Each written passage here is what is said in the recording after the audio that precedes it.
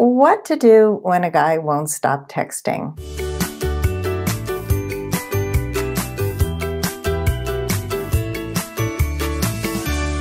What do you do when he doesn't call, he doesn't ask you out, but he just keeps on texting and texting and texting? In today's video, I'm going to share four tips about what to do when a guy won't stop texting. The first step is to get curious. It's so easy to be up in our heads and make up stories and judge a guy for why he's texting. We can make up a story that this is a guy who's not interested in me, or all he likes to do is text and he's really not going to ever call. So I want you to always take a breath, get centered, and get out of judgment and get into curiosity. You don't know why he's texting. You don't know why he's not calling. So be open to finding out if he's going to step up and do what you need. You won't know unless you, step two, ask for what you want. If you don't ask, you don't receive. And so at the beginning, this is really for the beginning, like when you are just getting to know somebody, you're on an online dating app or dating site, and you're stuck in that texting and not moving on to the next step, tell them something like, Hey, I'm really enjoying chatting with you, but I'm a little old school and I find it easier to get to know someone the old fashioned way by hearing your voice. Let me know if you'd like to take this to a phone call or a video chat. Or you can be a little more bold and say, Hey, if you ask me out, I'll say yes. Winky face. I recommend a phone call before going out so you can vet somebody. But, you know, if you've been chatting for a while and you feel like you like him, you can be bold.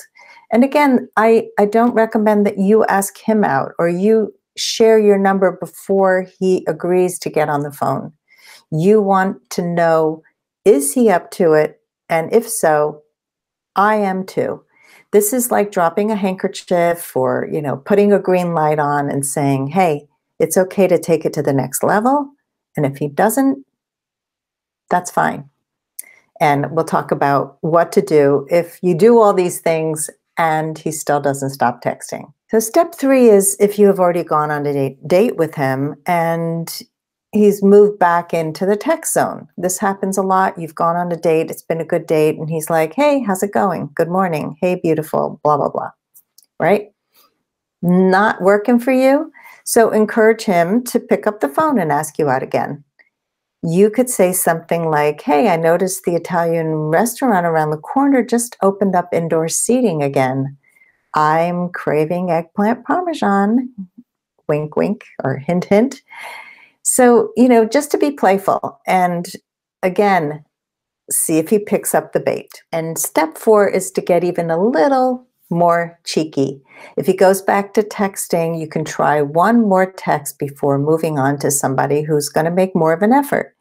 So you can send this text. And I got this from Matthew Hussey and I love it. I've noticed something about you. You love texting. I'm not even convinced you're a real person anymore. Winky face. So all of these are ways to be open, to be feminine, to be in your power as a woman of value, not to be judgy, not to be impatient, but to ask for what you want in a way that a man can hear. And if none of these empowered moves makes him make him step up, it's time to move on.